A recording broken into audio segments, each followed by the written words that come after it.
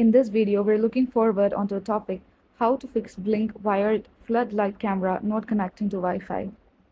Step 1. Verify Wi-Fi network requirements. Ensure your Wi-Fi operates on a 2.4 GHz frequency as Blink devices are incompatible with 5 GHz networks. Confirm your internet upload speed at at least 2 Mbps for optimal performance. Step 2. Check signal strength. In the Blink app, navigate to device settings, general settings to view the camera to Wi-Fi signal strength.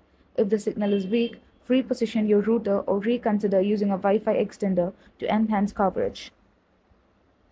Step 3. Ensure correct Wi-Fi credential. Double check that you're entering the accurate Wi-Fi network name and password during setup.